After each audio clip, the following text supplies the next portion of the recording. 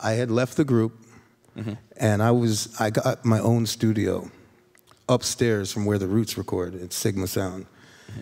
and um, I was working with this girl Jill Scott. She was working at uh, Urban Outfitters at the time, and she wanted me to help her make some music for her stuff, so she could get a deal. So we came up with this song, "You Got Me." It was pretty much all the way done.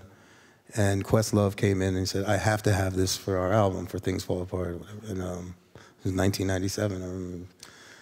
And uh, I gave it to them, and, and I was assuming that Jill would be on the record. And at the last second, the label decided to throw Erykah Badu, and uh, we won a Grammy. What was the process for you like to come up with that beat in particular?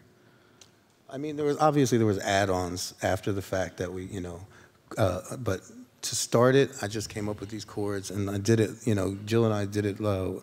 I call it Lennon and McCartney style, um, where we sit at the piano. I play. Somebody has a pad. We create melodies. We create chords, and then the production comes second.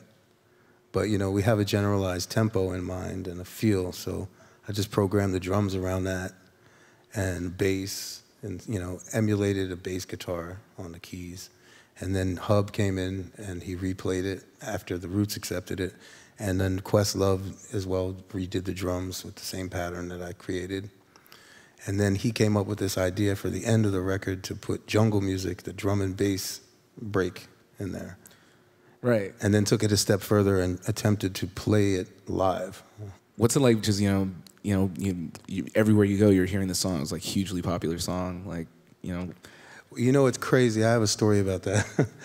I remember in Philly driving around in my car, and even though we you know we were successful somewhat in you know the fact that we had a song on the radio, it, it hadn't hit to us financially. And I remember I saw somebody in the car playing the song, and I, they pulled up next to me, and I was like stressing out how I was going to pay my cell phone bill or something stupid, and it was just like, you know what, it's going to be good.